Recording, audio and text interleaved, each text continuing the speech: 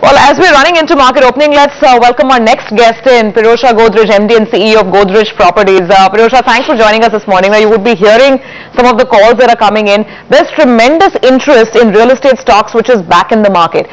But you tell us what's happening on ground. Is demand actually picking up in all the geographies that you are in? I think um, real estate demand, particularly in the residential space, uh, for uh, uh, projects that are well located and are priced appropriately, we think has always been there and will always be there in, in the Indian market. I think we've been very encouraged uh, by the response our Gurgaon project received. Clearly, we're very optimistic about the response this project we're launching uh, which is called Godrej eCity and is, is, an electronic city in Bangalore. We're very encouraged about the response this project will receive as well. Already before the official launch, we've been able to sell almost 100 apartments in, in this project. So I think, um, you know, we, we do see things at a reasonable level already. But certainly with some of the reformist measures uh, the government has been introducing recently, um, and with our expectation that there will be some easing of monetary policy over the next 6 to 12 months, I think there is absolutely uh, further reason to be optimistic about the, the prospects over the next one year. I do think overall the data we've seen suggests that uh, volumes are down uh, in most cities across uh, the country. And I think, although for, for good projects there has been a reasonable response, I think this could be even better um, once general economic sentiments improve. Just help me get a sense of what is happening. Has the sentiment does the inventory position now stand at? Because you've got festivities around the corner. Could that improve? Okay, uh, just one second. Uh, let me ask that question. Samina was asking it. I think there's an issue with the mic. Pirojsha, very quickly, uh, your inventory situation right now. Are you still sitting on unsold inventory or uh, is everything almost getting into the market? Uh, yes, you know, of course, we don't, we, uh, having some inventory is actually a good thing in, in real estate. You don't want to necessarily sell everything you have um, immediately. For example, even though in Gurgaon we sold our entire first phase in a single day, uh, we do have another phase of the project which we would like to sell more gradually to make sure we further improve uh, margins in the project. So in almost all our projects we do have uh, some amount of inventory. Um, I think the last two months have been good in that we've had some very successful launches, but that is more from the fact that we were able to get these projects launched than any huge change in, in market sentiment. We, we've been maintaining that even over the last uh, six, eight months, we've been able to see uh, reasonably good volumes um, in our residential developments, even in the first quarter of this financial year, which is a very weak uh, period for the economy the Pirojsha, give us a few minutes. We'll come right back to you. I'm just going to quickly address market opening. It is Friday. It is expected to be a sort of very busy day of trade. Lots of earnings to watch out for. Lots of earnings reactions, rather, is what we will be keeping an eye for. 30 points off on the Sensex. Global cues, remember, were quite subdued. We did manage to pull back quite well in the last hour of trade yesterday. So these kind of losses are more or less on expected lines. The breadth is looking a little shaky to me, and that is what I'm going to pick up on first.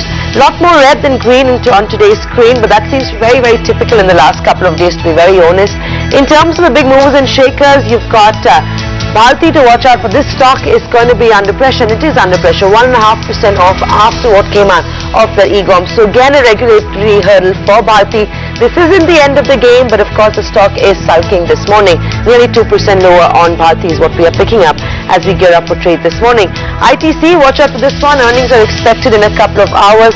Stock is trading quiet. Remember, it is the most valuable stock on the Sensex. Whether or not it's going to surprise us on the upside is going to be a factor to watch out for. For now, I think the stock is trading quiet, but it did run up nearly a percent and a half in yesterday's trade. Apart from that, Reliance Industries that did a beautiful pullback in the last 20 minutes yesterday is down about 6 tenths of percent as we speak right now. Well, you've got TCS ahead of its numbers, a little nervous as well, 8 tenths of percent off on TCS. We are expecting a decent set of numbers. There could be some amount of margin contraction. The management commentary will be crucial. And remember, TCS so far has outperformed its peers such as Infosys in the last couple of quarters and that's expected to continue in this quarter as well. Take a look at banks because Bank Nifty was up nearly 2% yesterday. There was massive outperformance coming from banking stocks. Today as well, you've got SBI, HDFC, HDFC Bank seeing profit booking emerging. ICICI a Bank, though surprisingly, is still trading in positive territory.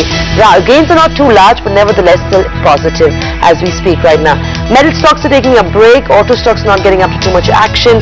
Cipla Dr. Reddy's is seeing some buying, so those starters are holding out. BHEL and L&T were both quite active in yesterday's trade. L&T was up almost 2% yesterday, now down 6 tenths of percent, giving up half of its gains from yesterday. BHEL, on the other hand, continues to trade positive. So that's the screen. It's almost on expected lines. Stocks that ran up very sharply yesterday are seeing profit booking emerging in today's trade. Pull up the Nifty and let's see what's going on there. I'm hoping that 5700 mark has been respected and it has. 16 points off on the Nifty, pretty much in line with what the pre-open was indicating too. The breadth is a little weak, so there's a clear bias on the downside. You've got about 36 stocks that are losing for about 10 to 15 stocks that are gaining. Bharti is your top loser on back of that uh, outcome of that EGOM meet yesterday. Kotak Mahindra Bank is looking a little weak. M&M, remember there was a downgrade coming from Credit Suisse early this week.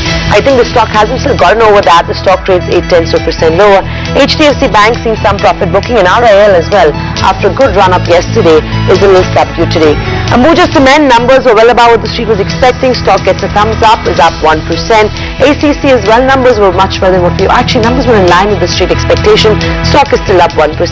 Wipro's marginally high was the only loser from the IT pack yesterday. Dr. Reddy's is not doing too badly and ITC is gearing up ahead of its numbers, up nearly half a percent as we speak. So Subhi, that's the day 5700 is being respected. I think it's on more or less on expected lines, but it's going to be all about earnings and specific stocks, I'm guessing today. Yeah, if you want a stock stock on earnings this morning, it's got to be Gujarat NRE Coke. Just look at the reaction on the number. Uh, profits have doubled. Their sales are up well over 20 odd percent in their Australian subsidiary is now shipping lots of coal. Some of the uh, data that we've got, output data is very impressive. And look at the stock go 12% higher in early trade. There's some pressure on Indian hotels building in, concern about how they'll fund this 1.8 billion acquisition of Orient Express hotels if they decide to do so. Stocks under pressure. Uh, Tata Global Beverages, we're talking about Starbucks opening up. It's, it's great news, but of, of course, for the stock, it's pretty much all in the price. Some of the other names that stand out, DB Realty started making its early move uh, all over again. Let's look at Talwalkars as well. That was the other set of good results that came in. Persistent Systems and Talwalkars, and both the stocks have been holding up in positive territory. We'll just flip that over, get you Persistent. There you go. That's a big reaction on Persistent. 9% growth on the top line, quarter on quarter. No IT company has been able to do that. Okay, uh, that's the news making list. Let's move beyond news. Uh, you've got a little bit of subdued start on an HDIL. Lanco's a little quiet. Kingfisher's down about 4 odd percent for the time being. Dish TV is continuing its run 1.5% up uh, as we see it. Subex is off to a pretty good start as well. Uh, by the way, Indian Hotels is trading on good volumes, one would have to say. So the fall that's coming in, trading activity on the counter has definitely picked up today compared to where it uh, usually has been. Well, there's also Zee News that's jumped up quite well on back of uh, very strong numbers and Tata Elxsi. Pull up both those counters, it's up about 2%, it's not so bad. And just to mention the dollar rupee pair, and I think this is turning out to be a bit of a worrisome picture. The dollar rupee is down nearly 7 tenths of percent, 53.76 now. So it seems like it is demand coming in from all importers. Remember, it is a holiday shortened week next week. So month-end buying is already picking up. There is that FCCB redemption as well. And most traders on the street are not ruling out levels of 54 being tested on the dollar rupee pair before the month comes to an end. So that's the picture and it's not pretty. That much we can assure you this morning. Well, let's go back to uh, Mr. Godrej, who we've been chatting to uh, just a few minutes ago. Uh, Mr. Godrej, uh, what has then been the trend in pricing? I mean, have you been able to hike prices in the last couple of months? I think we have seen moderate price increases in most markets. It's been sharper in some areas. For example, our Gurgaon project, uh, we sold at a rate that was quite substantially higher than we would have planned uh, even say six months before that. But even in markets where, where volumes haven't been as great like the Mumbai market, um, we've seen very positive responses to our projects. There, our project in Vikhroli, for example, is today selling at a price that's about 30% higher um, than the price we launched it at about almost exactly now one year ago. Um, and we've been able to sell reasonably good volumes there. So I think, you know, broadly, uh, prices have also seen uh, reasonable momentum.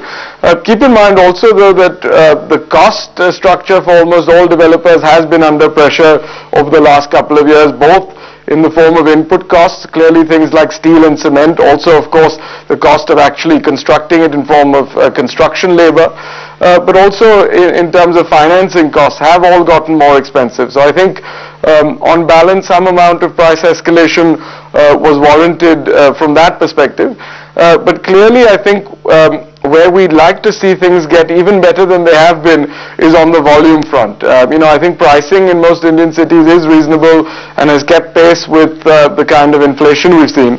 But I think what has not been uh, uh very encouraging over the last year has to, to be is that the national data is showing that in almost all cities volumes um, are actually down. While we as a company have been able to, because we've had a lot of new projects added and a lot of new launches um, uh, planned, we've been able to show growth. I think from a, a sector perspective, it would be great to see uh, volumes return.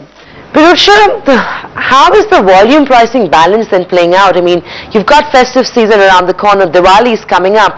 Will developers really, I mean, will you guys be willing to hold on to prices to, of course, give volumes a boost? I think certainly for us at Godrej Properties, uh, volume is the bigger focus. Of course, we need to have prices that allow us to make some money.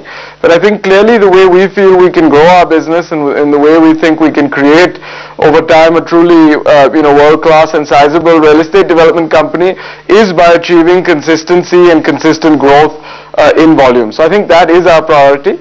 Um, you know, each developer would have a different strategy. Each project may have a different strategy. If you have a very small project that's very premium, you may want to, you know, sell quite slowly and play for margins. You on a on a more uh, uh, you know, mid-income uh, housing project, you may want to push for more volume. So I think there are some inherent differences there. But my, uh, I think my best hope for the industry would be that prices continue uh, to increase gradually along with inflation, but that we see a very, very uh, sharp increase in the kind of volumes being sold. And I think that is what ultimately will be good uh, for all stakeholders in the sector, whether it is developers, whether it's the government, um, or of course ultimately the customers. And I think there is huge inherent demand for real estate. So whatever we say about, you know, weakened economic conditions or high pricing, we must forget that housing is a very basic need and a very basic desire for, for everyone. So I think um, the access to that housing is something that's very important and if that can happen through uh, lower interest rates and an improved um, economic climate, I think that again will be beneficial to all stakeholders. Um, Pirojsha, let's talk about Godrej Properties itself. Now, you're in so many different geographies. You've just launched in Bangalore. You've done your launch in the NCR. Which market are you bullish on? What is your launch pipeline looking like? And allow me to ask you this. There's been a lot of speculation about you doing a deal with HDIL for development in Bangalore. Is there any truth to that at all? You know, our, our, launch calendar over the next six months is perhaps the busiest it's ever been in the history of the company. Um, we have launches, in addition to the two launches we've just done in Bangalore, we have launches in Ahmedabad, we have a, several launches in Mumbai, we have a launch in Kolkata, launch in Pune, launch in Hyderabad, uh, second phases in, uh, in NCR. So we do have a very, very uh, robust launch calendar in a, in a variety of cities. Um, and I think that will really allow us to, uh, that will really be the driver of our, of our growth over the next couple of years. We've been very successful in adding new projects over the last 18 months. We've added about 14 new projects. Most of these projects either have already been launched or will be launched over the next 6 to 12 months. And I think those will be a key driver of our, of our future growth. Uh, on your second question, you know, at any given time we are talking to a, a huge number of, uh, of, potential partners for, for new developments. We, as a matter of policy, uh, you know, make sure that not to comment on anything until a deal is finalized. Um, and, you know, talking about discussions that fell through would, would be a, you know, unending list because for every successful project there are at least 10, 20, and uh, maybe even, you know, 50 or 100 discussions that take place. Okay. Um Pirojsha, we've been discussing all about the demand supply scenario and how, you know, improved the market seems to be. But let's look at the ground reality. Liquidity had been a huge issue for the sector over the last one year. Now, I know that's not an issue for you at Godrej Properties. but speaking about the sector as a whole, is it any easier to access bank funding and financing today than it was, let's say, six months back? You know, it's a, it's a tricky question. As you said, I think we've been uh, relatively advantaged in our ability to access capital, both in the form of equity. Uh, for instance, in March, we did India's first ever institutional placement program. We also recently tied up a partnership to invest in new projects with some leading global investors. Um, and, you know, on the debt side, we have uh, perhaps uh, one of, if not the lowest borrowing costs um, in the in the sector. So I think you know we've not seen any concerns in that area. Clearly, I think for the sector as a whole, capital availability is a major issue. Um, I think what has happened is that both equity and debt capital have been relatively difficult to access um, for the sector as a whole. Um, and you know, hopefully, yes, I, that that will improve. I think if general economic sentiment improves, um, if interest rates, as we expect them to, start declining, um, certainly, I think that will reinvigorate uh, the real estate sector. I think certainly, um, you know, it is a sector that is very cyclical, and um, I, am quite optimistic that over the next uh, 12 months, we we've seen already the bottoming out um, of, of, of the, the curve, and we'll see uh, a, a steady improvement going forward. Pirojsha, very lastly, before we of course wrap up this discussion, do you have any sort of fundraising plans, any project level fundraising that you're looking at? We're not looking at any kind of uh, major capital raising over the, the next couple of months. The commercial paper uh, thing you mentioned is, is, is, simply another form of, of debt and uh, a way to lower, further lower our average borrowing cost, but that's not, you know, not in any way equity or, or anything like that. The only kind of um, capital that we are, we are open to, which is something that we're always open to, is project level investments, uh, particularly for some of our, our commercial projects. But certainly we're not looking in the very near future at any entity level capital raising. As I mentioned, we've quite successfully raised some capital already over the past few months. Hi, thanks Adan Pirojsha. Always great talking to you. So that's perspective coming in and what the real estate space is looking like, whether or not that recent rally in some of these stock uh, stock prices justifies the actual business. Outlook's positive and Pirojsha Godrej clearly betting big on the festive season. With that, it's a wrap on this edition of First Trade. Markets are down of percent. The rupee continues to look weak.